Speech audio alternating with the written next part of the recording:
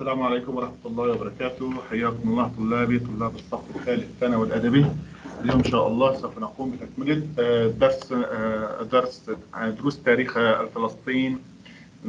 سنأخذ الدرس الثالث وهو الذي بعنوان القضية الفلسطينية بين الحرب العالمية الثانية والنكبة. إذا في هذه المرحلة سوف نتكلم عن وضع فلسطين أو تاريخ فلسطين بين الحرب العالمية الثانية. عام 1939 إذا آه، تنتهي الحرب العالمية آه، عام 1945 خلال هذه الحرب وتاريخ إعلان الكيان الصهيوني تاريخ إعلان النكبة عام 1948 إذا سوف نتكلم في خلال هذه الفترة ما هي الفترات التاريخية التي مرت آه، فيها فلسطين. آه، فدرس هام جدا آه، سوف آه، نركز عليه قليلا. آه، طبعا آه، هذا الدرس آه، يعتبر يمكن آه، من أهم الدروس لتاريخ فلسطين لما مر به من أحداث آه، آه، هامه جدا على مستوى التاريخ الفلسطيني. أين نحن من دروس الوحدة؟ نحن هنا في الدرس الثالث تكلمنا في الدرس السابق عن الشعب الفلسطيني وعن الثورة وقبله الاطماع الاستعمارية في فلسطين قبل الحرب العالمية الأولى. اذا هنا نحن في هذا الدرس ماذا نتعلم من درس اليوم؟ أن أستنتج تطور القضية الفلسطينية أي التاريخ الفلسطيني خلال الحرب العالمية الثانية. آه، ثالثا أن أذكر موقف العرب آه، من القضية الفلسطينية كيف كان موقفهم. آه، ثالثا أن أبين مشروع ميريسون والمشروع البديل الذي طرحه العرب ردا على هذا المشروع. إذا هذه الأمور إن شاء الله سوف نتعلمها في درس اليوم. آه، سؤال التذكرة سألناه قبل قليل ما هي توصيات لجنة مارتن شو كان هو إصدار بيان صريح عن سياسة بريطانيا في فلسطين ضرورة تحديد الهجرة اليهودية تنظيم الأراضي وعدم تحويلها إلى اليهود ضرورة إعطاء العرب الحكم الذاتي وإثبات ملكية حائط البراق للمسلمين. الكلمات المفتاحية بالتيمور موريسون الأكثرية. الأقلية تطوعي. إذا هذه الكلمات المفتاحية لدرسي اليوم. بالتيمور موريسون الأكثرية الأقلية متطوعين. هدفي الأول إذا أن أستنتج تطور القضية الفلسطينية خلال الحرب العالمية الثانية. إذا خلال الحرب العالمية الثانية كيف كان وضع القضية الفلسطينية؟ يعني بين عامي آه، 1939 هو بداية الحرب العالمية الثانية وتاريخ انتهائها عام 1945 طبعا ما هو آه، وضع القضية الفلسطينية خلال هذه الحرب؟ طبعا تجلى آه، وضع القضية الفلسطينية خلال الحرب العالمية الثانية من خلال استغلال الصهيونية أو الصهاينة ظروف هذه الحرب لتحقيق حلمهم الصهيوني بإقامة وطن قومي لليهود في فلسطين يعني إعلان دولة الكيان الصهيوني. طبعا مستفيدين من الدعم الاستعماري لهم. آه، ولكن لم يعد بوسع الصهاينة آه، الاعتماد على الحكومة البريطانية آه، في حماية آه، آه، هذا الحلم آه، في إقامة الوطن القومي في فلسطين فقاموا بنقل مركز نشاطهم إلى الولايات المتحدة الأمريكية. إذا خلال هذه الفترة قام الصهاينة بنقل آه، النشاط الصهيوني من آه، بريطانيا إلى الولايات المتحدة الأمريكية. نحن رأينا في الدروس السابقة كيف كانت بريطانيا هي الداعم الرئيسي للصهاينة. ولكن مع قيام الحرب العالمية الثانية وإصدار بريطانيا الكتاب الأبيض الثالث وترددها في إعلان الدولة اليهودية قاموا آه، الصهاينة قام الصهاينة بنقل مركز نشاطهم إلى الولايات المتحدة الأمريكية.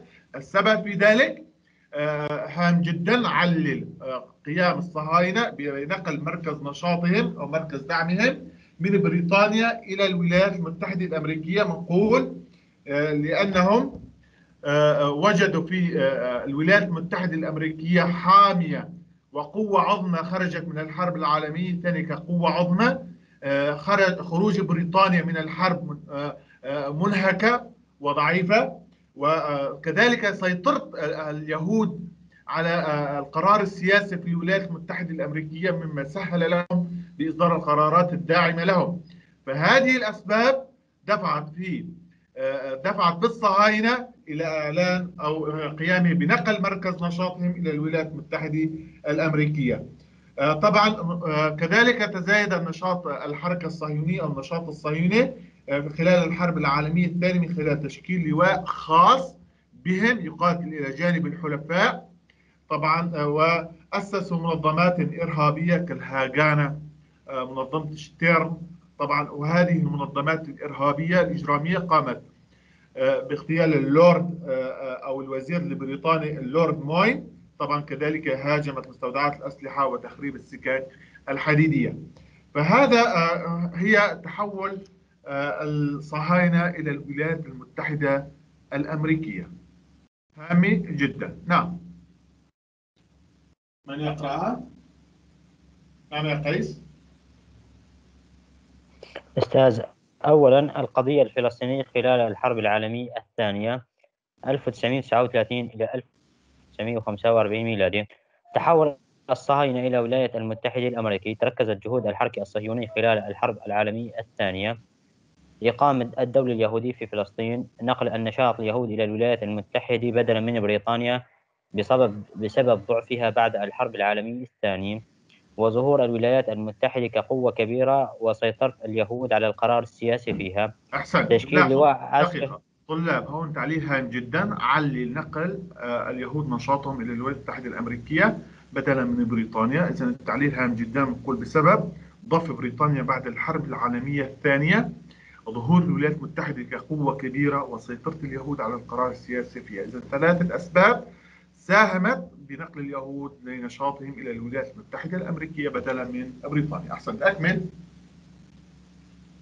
آه، تشكيل لواء عسكري يقاتل إلى جانب الحلفاء وتأسيس المنظمات الإرهابي كهال كالها غانا وشترن التي اغتالت الوزير البريطاني اللورد موين وهاجمت مستودعات الأسلحة.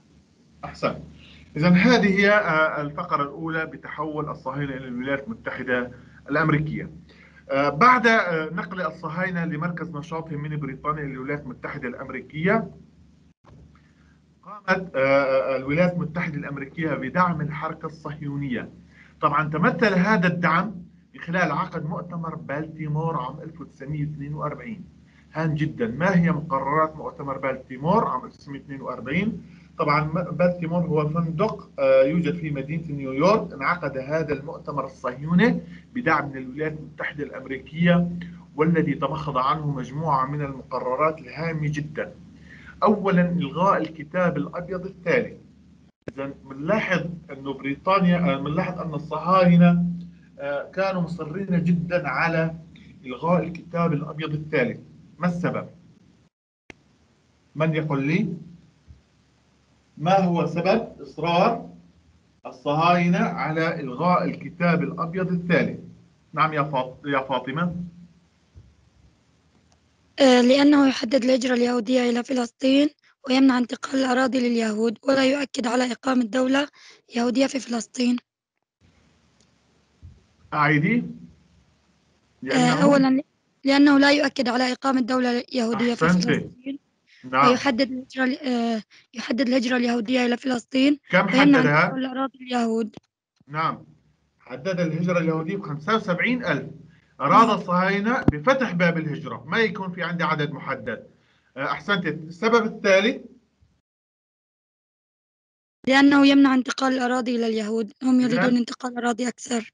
نعم إذا لأن آه، من بنود مقررات الكتاب الأبيض الثالث 1939 كان تقييد انتقال الأراضي العربية إلى اليهود. فمن خلال مقررات مؤتمر بالتيمور عام 1942 أصر اليهود على إلغاء الكتاب الأبيض الثالث. ثانيا إطلاق الهجرة اليهودية إلى فلسطين. ما يكون عندنا عندي تحديد 75000 كما في الكتاب الأبيض. لا إنما فتح باب الهجرة اليهودية إلى فلسطين. ثالثا يعني بنلاحظ مقررات مؤتمر آه، مؤتمر بالتيمور عكس مقررات الكتاب الأبيض الثالث بنود الكتاب الأبيض الثالث. إلغاء القيود المفروضة على انتقال الأراضي العربية إلى الصهاينة. آه، رابعا إنشاء جيش يهودي يكون له رايته الخاصة ومهمته الدفاع عن الكيان الصهيوني المزعوم أو الدولة اليهودية المزعومة. خامسا تحويل فلسطين إلى دولة يهودية. فإذا هذه نحن نسميها مقررات مؤتمر بالتيمور عام 1942 إذا بنلاحظ البنود الثلاثة هي آه، آه، عكس بنود الكتاب الأبيض الثالث عام 1939 فإذا إلغاء الكتاب الأبيض الثالث إطلاق الهجرة اليهودية في فلسطين إلغاء القيود المفروضة على انتقال الأراضي وإنشاء جيش يهودي له رايته الخاصة وتحويل فلسطين إلى دولة يهودية.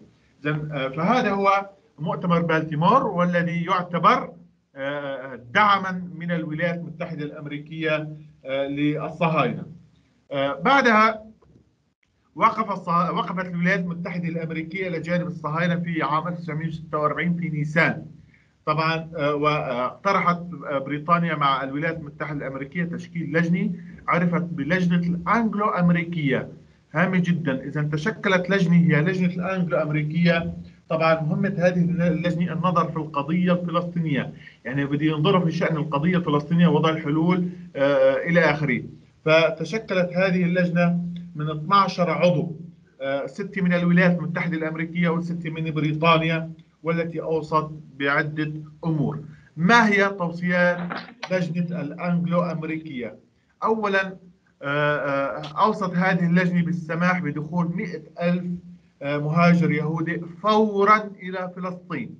إذا بنلاحظ هنا بهذه اللجنة تم تحديد مئة ألف يهودي يدخلون إلى فلسطين مباشرة. كذلك من قرارات هذه اللجنة إلغاء الكتاب الأبيض الثالث. كذلك استمرار الانتداب لبريطانيا على فلسطين. آه، إلى أن توضع تحت وصاية الأمم المتحدة. آه، أوصت كذلك أن تكون ألا تكون فلسطين. آه، لا تكون دولة يهودية ولا دولة فلسطينية. إذا أمرها لسه ما مبت أمرها معلق. طبعا رفض العرب كل من من اليهود والعرب رفض التوصيات و جامعة جامعة الدول العربية. هنا اجتمعت وعقدت مؤتمرين هما مؤتمر أنشاص والودان ردا على هذه اللجنة.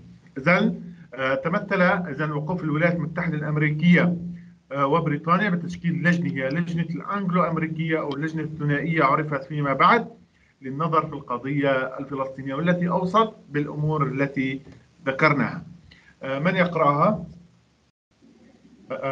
آلاء وقوف الولايات المتحدة إلى جانب الصهيونية في نيسان عام 1946 ميلادي اقترحت بريطانيا تشكيل لجنة ثنائية بريطانية أمريكية للنظر في القضية الفلسطينية والتي أوصت السماح بدخول مئة ألف يهودي فورا إلى فلسطين. استمرار الانتداب البريطاني على فلسطين إلى أن توضع تحت وصاية الأمم المتحدة ألا تكون فلسطين دولة يهودية ولا عربية. رفض, العرب رفض العرب واليهود هذه التوصيات. رفض العرب واليهود هذه التوصيات. أحسنتي.